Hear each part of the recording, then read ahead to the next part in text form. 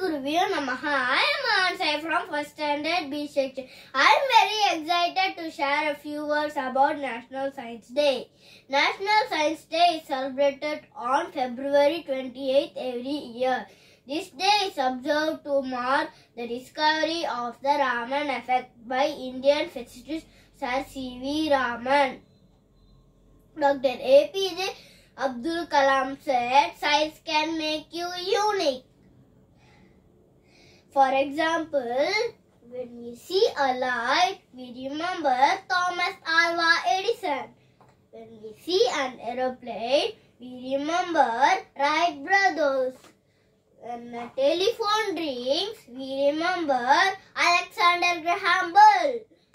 We remember all these persons because they are unique. They are unique because they have excelled in science.